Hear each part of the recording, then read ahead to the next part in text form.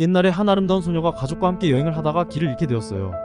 소녀는 목이 말라 우물가에 도착했고 우물에서 물을 마신 후 다시 올라오려고 했지만 실패했어요.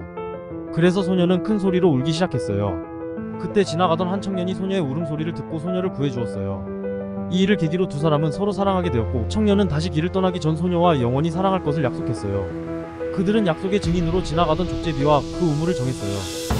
그러나 시간이 흐른 후 청년은 소녀와의 약속을 잊고 다른 여자와 결혼하여 아이까지 낳았어요. 그러던 어느 날 그들의 아이가 풀밭에서 놀다가 족제비에게 물려 죽었고 또 다른 아이는 우물에 빠져 죽고 말았어요. 이때 청년은 소녀와의 옛 약속을 떠올리고 족제비와 우물이 증인이었다는 사실을 기억해냈어요. 그는 아내에게 이야기를 하며 헤어지기로 했어요. 그리고 청년은 약속한 소녀가 있는 마을로 돌아왔는데 소녀는 그동안 약속을 지키며 혼자서 기다리고 있었어요. 마침내 두 사람은 결혼하여 행복하게 살았답니다. 이 이야기는 약속을 지키는 것의 중요성과 신의의 가치를 잘 보여줍니다.